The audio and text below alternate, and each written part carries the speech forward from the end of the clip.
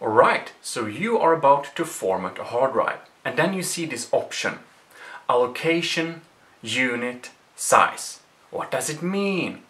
Well, basically it's the setting that divides the hard drives into small units and the smaller the units are, the longer time it will take to search through the library.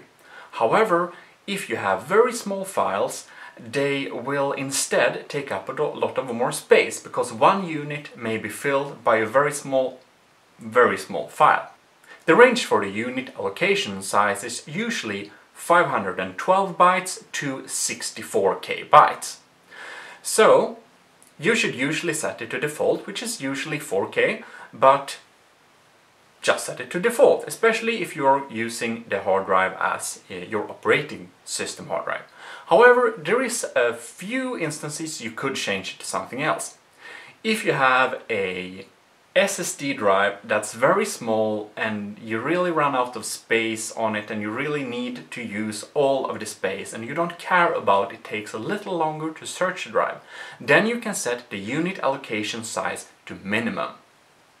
If you, however, have a couple of hard drives that have a lot of space, like one of these is 500 gigabytes, the other one is one terabyte, and I'm going to use these for media storage. I'm going to have large files, and every file I put on it will probably be larger than one megabyte even, so I can set it to the largest unit allocation size, which for this case is uh, 64 kilobytes. So, there you have it. If you want to use an old hard drive like this to store media, you can format it to the biggest unit allocation size and you will be able to search it. You will be able to browse it faster than if you would have the default unit allocation size. The difference might not be huge, but there is a difference and here we have it. So I hope this helps you and, well, good luck formatting. This is your host, Gmodism. You should subscribe and like the video if it helped you. Also, I'll see you in the next video, I hope.